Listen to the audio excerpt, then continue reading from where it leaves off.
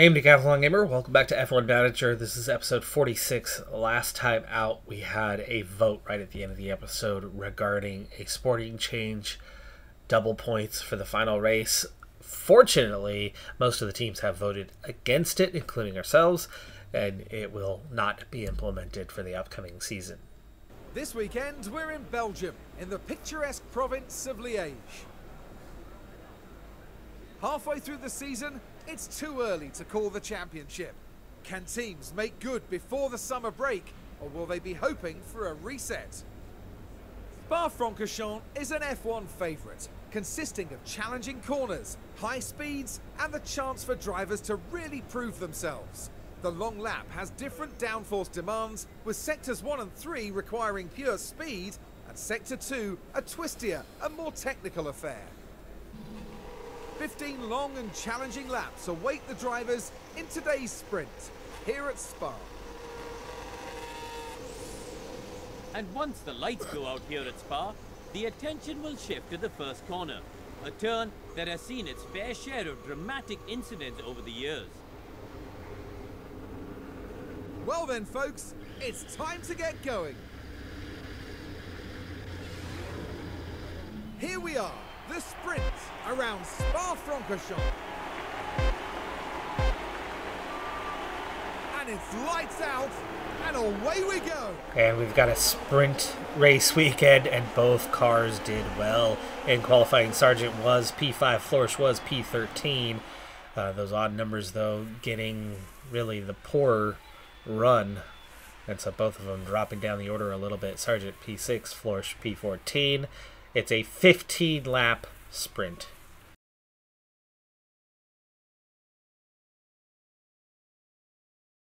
As we begin lap number three of this 15 lap sprint in P7, P14, respectively, there's a little more on the line this race weekend, and I have adjusted things a little bit accordingly, just a little. And that is, uh, I had a proposition in the email regarding uh, triple sponsor payout. Triple sponsor payout. That's a lot of extra cash. So I've gone ahead and agreed to doing that. There, of course, is um, danger, inherent danger in doing that. As uh, Russell gets around Sargent, dropping him to P8. Uh, all we need to do, realistically, is finish in the top 14 to achieve those sponsor goals, though. So we're looking fantastic to be able to earn a top 14. I mean, even Florsch is 14th right now. And Sargent, who's not having a great race, is dropped to P9. Seems to be a little bit off the pace in this one. Florsch dropping down as well. Everyone's on the softs for this. Uh, what I've done, the thing that I did to help Sargent. remember we've nerfed him in so many ways. Uh, we just had a chassis project, design project complete. None of the chassis are ready. Florsch does not have it. She's still on the old one. But Sargent was still on the original chassis. The one that Florsch is on right now is the third. The fourth edition is the one that just came out and is now being man manufactured. So I went ahead and bumped Sargent up to that third edition chassis. Uh, so from first to third, that's a big bump. And that should give him a little bit more. And it was a pretty healthy bump uh, in terms of that chassis. So uh, Sargent down to P10, Flourishes P16, DeVries with a lockup drops to last, or was already last maybe, loses uh, 10% on the tire wear. We're on lap 8 already. Field's fairly close together. Uh, the fuel recovery I was a little worried about as we had dropped three tenths, but we've already got that under control. Pourchaire in the Aston Martin is well ahead right now. Sainz and Verstappen, then Strolls. So it looks like this could be an Aston Martin kind of weekend. Got themselves a good car. Two thirds of the way through this sprint, and we are right on the cusp of both cars. There we go. Now both cars have positive deltas. Florsch safe in P16, big gap behind her. As for Sargent, got Perez just behind us and then a gap, but we've also got cars. I mean, third place is almost closer to us than I'd say Florsch is. V, um, VSC. VSC is coming out. That's not looking good for Charles Leclerc. Leclerc involved. A lot of space between cars. Oh! Leclerc just locks up and gets into the back of the Alpine. As for the team back Heavy garage, collision for both. That was a tough moment to watch. It's a lot of damage, even if they're able to continue on. That's going to be a lot of damage. And both are out. Gasly and Leclerc out of the race. That's going to bring us VSC, both up two spots as it happened in front of us. close to the delta. We're happy to push on with the tyres. VSC has ended and we are off and racing again. We've got three laps. We're going to push, I think we can reduce see if either one of these cars can go forward. We're right on board with Floor She now sits in P14. She was two spots higher than this qualifying wise. Practice wise, she's about where she belonged. Pourchaire runs wide as the leader. He's still got the lead, but it's down to one second. So instead of a four or five second gap, he's uh, suddenly under a little pressure as we begin the uh, final two laps of the race. Florsch coming through the final chicane and begins two laps to go herself. As we head down through Raidillon and Eau Rouge, up the hill with some momentum, with some DRS. We do get alongside Albon and ahead for P13. Nicely done there. Keep that pressure on. Keep pushing. Meanwhile, Sargent, what is our gap looking like? Just over a second behind Russell. Gotta close that gap if we're gonna get anything going on the final lap, and do get within a second there. Meanwhile, Florsch has closed up already on Magnussen. Can we get back to where we started, plus two for the crash? Final lap. Final chicane. Final lap. In a great position, but We've got Tsunoda and Magnussen there. Huge gap ahead of that, so it's really down to just this. Uh, meanwhile, Sargent is also uh, challenging Russell ahead. Nothing doing there, nothing doing here. Oh, almost getting Russell.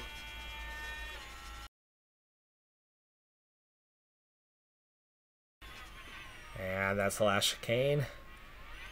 Sargent will finish P8. Meanwhile, Florsch in comes in just behind Magnussen. Unable to challenge, Pourchaire does claim the lead ahead of the two Red Bulls and Stroll. But P8, P13, the 13 part, fantastic. Uh, Florsch had one okay finish before, and it was roughly about P13 or 14. So this is right up there with her best ever finish. Really solid job It is a sprint, though. You did well. The whole race still to come. We've got 44 laps ahead of us here in Spa as we get ready for the Belgian Grand Prix. Now, this could be an important race for Pierre Gasly. They're at a real disadvantage as they begin in 19th. How much can they recover over the course of the race? Here we go. It's time to go racing.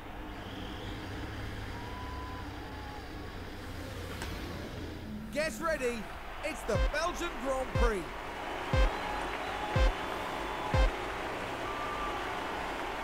And it's lights out and away we go. Shortest race of the year in terms of laps, but that's because each lap is a long one. But we just managed to get through 15 already. And we pick up where we started from. Florsch, great start, is P11. There's a couple of cars with penalties out there. Not many, uh, but a couple definitely started further back than uh, where they finished the sprint. And that's put us in a pretty solid spot. Leclerc and Gasly at the back. Albon drops to the back. Uh, but Florsch, P11. What a great, great start spot from from her and Sargent up in P7 comfortably in the points. Here, you don't want to push for a full two laps. You definitely want to let off a little bit earlier because, you know, two laps are a long time. Under fueling, only a single lap, 2.4 kilograms, and from what we saw in the sprint, it shouldn't be too hard to recover that uh, organically. And that's one lap's in the book. One lap. It's not plural when I've only done one. Yellow. DeVries runs wide. Drops to 19th. Some ERS left. Plenty of life on the tires. It's a one stopper, soft to mediums today, and I'm expecting the whole field to probably do that. Except there's a lot of cars on medium tires.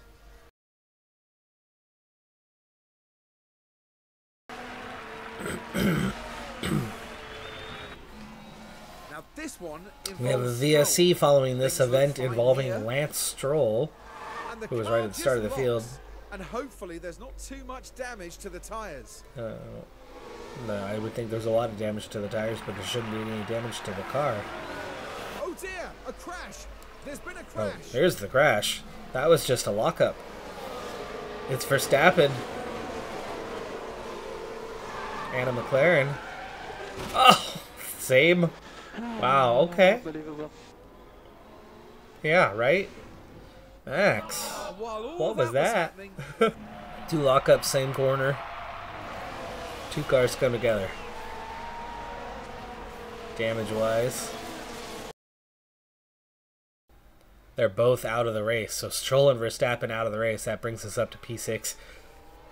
And somebody's in the points. Somebody's in the points. But what's it going to be like later on? Fuel's already largely recovered after that. Right as we begin a new lap, lap number seven. Florsch all over the back of Tsunoda, already going up the inside. Completes the overtake, P9. Sargent overtaking Ocon, P5.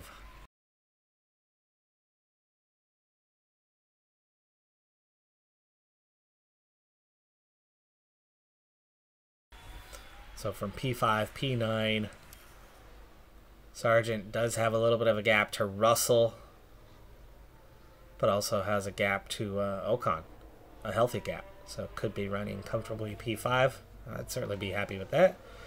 Sargent just did the fastest lap of the race, so that was a nice push lap we ran there. Sargent closing up on Russell as well here on lap 9, and Pourchaire locks up. The Aston Martin's having a lot of trouble. Porsche locked up during the sprint race, has locked up during this race. Stroll did the lockup and got himself out of the race. Of course, he was in a harmless position, but apparently distracted Verstappen. That's also just how Verstappen likes to overtake cars. Off the track. Quarter of the way through the race, still holding on to the P5, P9. We have good pace. Uh, Florsch now has a healthy gap to Magnussen behind her, four and a half seconds down, pulling away from him. Um, not all over the back, but keeping up with Norris. Sargent challenging Russell, but not able to complete the overtake. 47% pit window has opened. Not too long before we pit. We don't want to wait too long. Pourchaire already pitting. The window is open. Probably from the lockup. Is he going to the hards? Pourchaire. no. 99% mediums ahead of Florsch still. We are on the softs, others are on the mediums, which means there is every opportunity that uh, from here on out they're going to have better pace than us as we are pretty used on those softs and we're going to be on those mediums fairly soon or we'll have a couple lap advantage when they're fresh, but otherwise they'll be on the softs and they'll have a more significant advantage. And by the end of the race, both the mediums and the softs will be pretty used, and therefore there won't be an advantage really to either. Florsch has lost Norris over three seconds down. Not sure what happened there. I Had no indicator of a mistake. Sargent battling with Russell for a full lap before finally getting ahead of him, and then Russell pits. Sargent will pit on the next lap.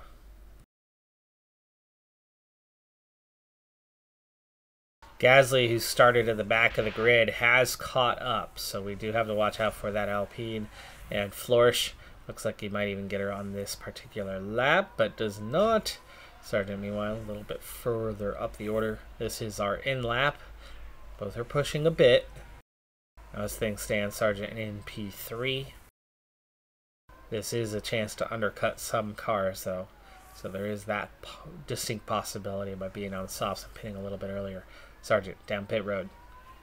One, one and only time of the day. Good stop. Uh, okay, stop. 2.7. Florsch already on pit road.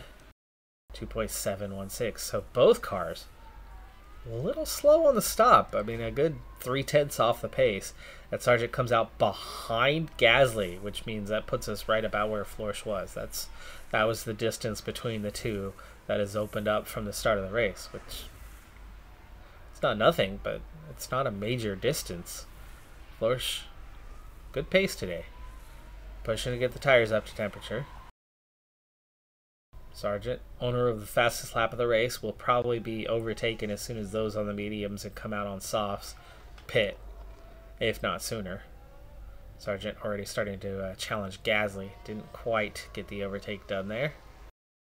Would like us to get ahead because it's holding us up from, uh, well, that's Pourchaire. Norris hasn't pit yet. Got the overtake done. Sargent up to P7. Florsch currently is P12. And there's a whole lot of cars to pit. So we've got some open air. Go standard. Yellow flag. Pourchaire runs wide. Another mistake from Pourchaire. Pourchaire dropped to P9 after that one. So Pourchaire lost a lot of ground there. Pourchaire was ahead of Sargent. Magnussen overtaking Florsch. Magnussen has pit already. That is an on-track pass. Bottas in the pits. Lap 25 of 44. We're into that second half. We're going to start seeing those on the mediums switching to the softs.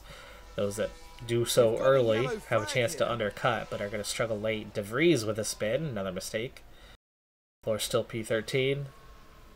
Norris just ahead of her. Ocon. Both in between her and Magnussen, so Magnussen has much better pace right now. Leclerc pits. Still well down the order after starting from the back of the grid. Maloney has yet to pit. Sainz pits. Sargent is P2. Sargent is P2. Sargent is P2. uh, and fuel's nearly right for both cars. Three more cars pitting. Everyone has finally pit. We've had a crash on track. We've got local yellow. It's yes. Whoa. Right, let's have a look as we go into turn four. Oh, and the car with a nasty the wall. Crash into the Lost barrier. it. But no matter There's... the severity of the crash, it's always good. Kept going though. Really thought that would have broke the suspension.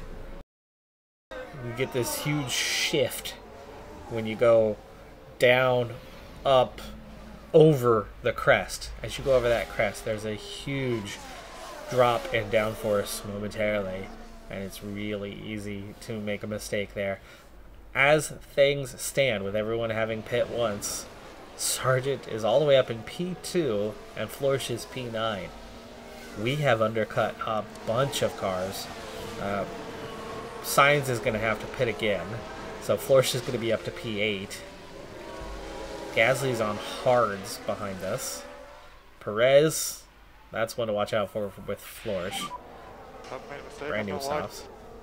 Ah, Sargent made a mistake. Let's have a look at Drops to P3. Now this is Logan Sargent. And they just can't keep on the track. Hits the gravel. Gotta be careful and watch the car. Fortunately only drops one position. Morale's gonna be low though. It's fine, we don't want to finish too high. Under floor damage. Should be minor, I would imagine. Yes minor underfloor damage for Sargent after uh, running in the gravel. Pourchaire with that big mistake is behind us and already on pretty used mediums, but was leading that race earlier. So uh, Ocon definitely one to watch out for, but otherwise you'd think Sargent has a good chance of hanging on if we can avoid mistakes. Meanwhile, Florsch, Norris ahead, on softs, probably not going to be able to catch them. Magnussen's already overtaken us. It's probably not going to be able to catch them. So it's more about what's behind us. And right now, that's Gasly on hards holding up Perez. Perez is probably going to be pretty damn fast and a real threat to us. But can Florsch score her first point today? Right now, she's in position with a sprint race left to go 15 laps. Sargent, five seconds behind Russell. So we lost a lot of ground on that one. Sainz pits.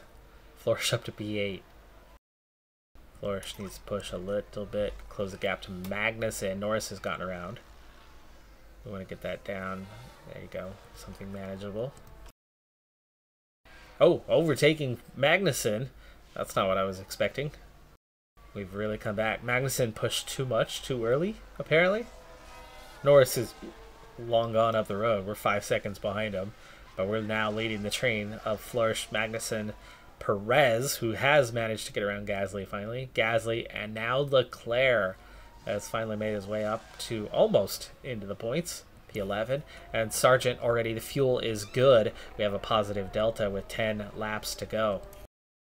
And is closing back up on Russell ever so slightly, but Pourchaire is also closing up on Sargent. So uh, anywhere from P2 to P4 for Sargent is likely, and Florsch re-overtaken by Magnussen, very much in the mix. Four points today. Leclerc with a spin drops back to P14. There goes Leclerc's chance of getting in the points. Florsch back around Magnussen. And we're definitely going to take the last handful of laps. 10 seconds to Norris. Norris is long gone. But fuel's about right. Battery's full. Tires are okay, 58%. They'll definitely make it to the end. Let's check. Let's get a tire comparison. Magnussen's 3% worse off.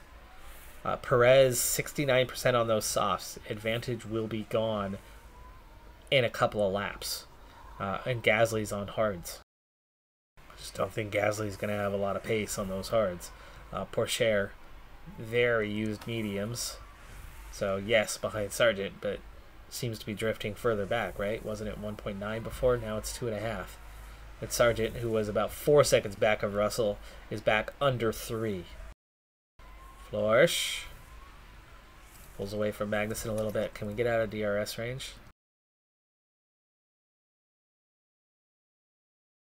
Save that for later. We've got ourselves a gap. Get that fuel right. Florsch has a gap now. One and a half seconds over Magnussen. Uh, we're actually closing up on Norris. Uh, Perez already closing that gap back down, though, inside one second. But down to 60%. So drops below that threshold is going to start getting weaker and weaker and weaker on those softs, meaning the overtake is going to be harder and harder. Magnussen slipping further and further back. And that's, yeah, this is starting to look good for us. Uh, the Perez part, yeah, I don't know. But three to go as she crosses the line there in P7. Uh, Norris all over the back of us and gets around. But we get DRS. That's going to allow us to close back up. Gasly has got around Magnussen, but is one and a half seconds down. We currently stand in P8. And the points. Sargent on the podium uh, is three seconds behind Russell. That's been holding pretty steady, same as the Pourchaire gap. And I'm perfectly fine with Sargent not making a push to get any higher. It's 11 seconds from Russell to Bottas. We're not going to win the race. A win would be nice at some stage. But a podium is, is good points. Second place is too good on points. Third is fantastic. And Florsch is dropping off. Florsch has done poorly there and is dropping off. Uh, she is suddenly just like that behind Gasly. And now it's three laps to go. I thought we were already down to two. Oh, it's 42, 43, 44. Right. That was 41. Not a not the start of 42 previously. We just started 42 now. Florsch does not have the pace right now on these mediums below 50%. She is really dropping off, but Magnussen's dropping off more. So uh, while we are down to P9 and falling away, uh, Tsunoda is the threat we need to watch out for. Maloney's not going to challenge. Magnussen's not going to challenge. Tsunoda could. Barring any mistakes, two laps to go, will finish in the points for the first time in her career. Just about there. We've got two laps. Let's go ahead and go deploy. Use up the battery. Help keep that distance. Tsunoda has gone around Magnussen. Three seconds back. You can see just how quickly we're falling away from the two faster cars who, well, we undercut. No, no, no. Gasly started from the back from the mistake during the sprint race. Uh, Perez went backwards because of poor strategy, and we undercut him. Uh, but he's coming on stronger, faster later to recover for P7.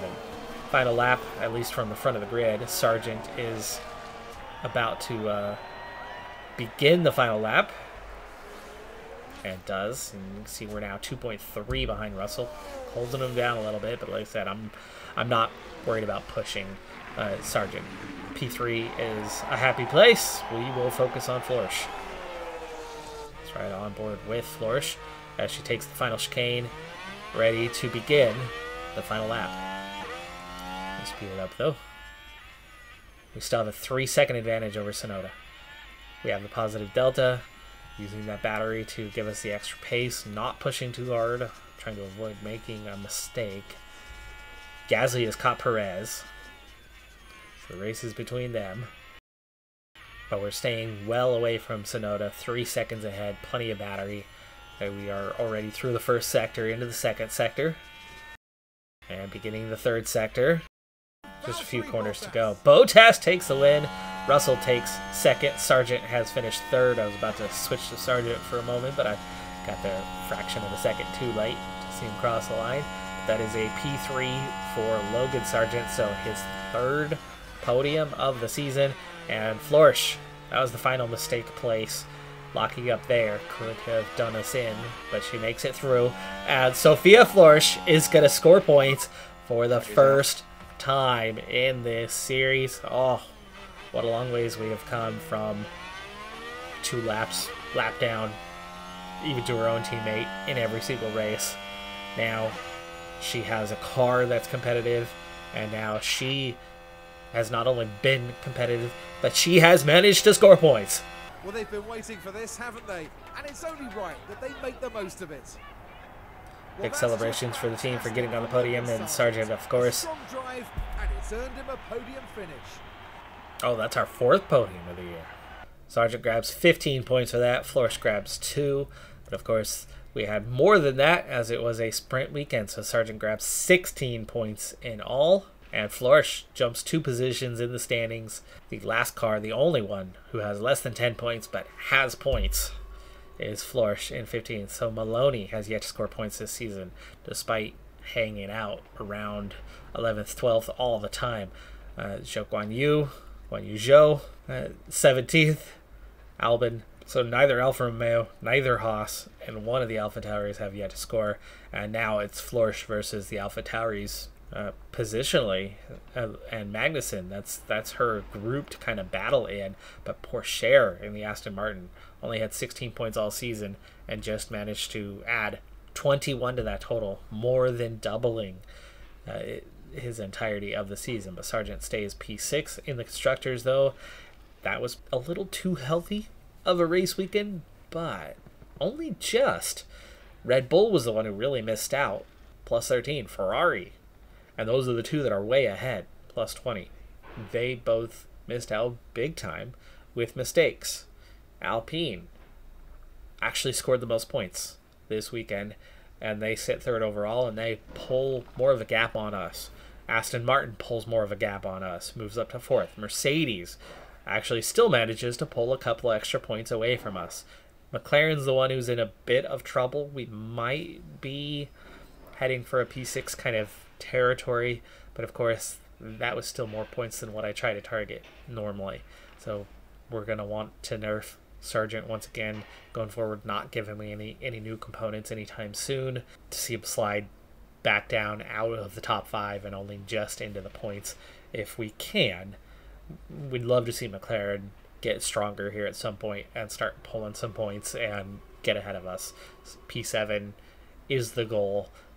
P6 seeing the others pull away just a little bit from us. That's what we want right now. What we especially want is more of what we just got with Florsch, though. We'll take her points all day, every day. And if we can nerf Sargent enough to get them kind of competitive with each other, wouldn't that be something? That would be the dream right about now. Shorter episode, but bigger episode. Folks, that was massive what we just encountered. We also had a sprint race squeezed in there, so one and done for this one. That is going to do it for this episode. Smash that like button in honor of our first female driver managing to score points. We have the complete team behind her now. All female staff, or at least the last one coming. We've got a reserve driver that's female. We are close to the entirety of the group being what it is. Now, the only thing, that's her first two points. If we take out Logan Sargent, we're P8. That's not even counting the fact that you're taking out one of the cars that's been scoring points, bumping everybody else up a spot, meaning they're going to score more points. So if he finishes eighth, you suddenly remove that car from the equation, put Tanaka in there, who's weaker than Florsch, and everybody moves up a spot. Well, Florsch moves up a spot, but she still would have only scored points once today. She would have four points. So our four points we don't know how much of a difference that makes for McLaren, but obviously that would put McLaren ahead of us. That would put Alpha Tauri ahead of us. So all of a sudden we'd be down in P8, one spot off. Now that, that's not terrible, is it?